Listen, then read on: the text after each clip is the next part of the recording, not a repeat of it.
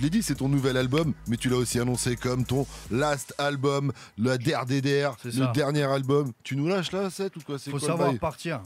Ça y est Ouais, faut savoir se retirer Il au faut bon savoir moment. ça. Ouais, ok. Mais Je pars au top de ma forme physique, au top, au top de ma forme au niveau des rimes, des punchs. faut il en a- partir sur une victoire. Ouais, Parce que je quel album quand même Ouais, ouais, Quel on va en album, parler, on va Quel en nouvel parler. album quand même Et Ce qui est triste, c'est que quand j'ai annoncé euh, dernier album, bah, il y a plein de gens qui se sont réveillés en disant Ah ouais, mais faut que je l'achète celui-là. Ah, vous faire enculer, faut l'acheter les autres. C'est toujours la même chose. Hein C'est toujours que ça, mais. C'est toujours la même chose. Mais Ouais. il bon, tant mieux, c'est comme ça, ils vont Ouais. se refaire la discographie, elle est longue.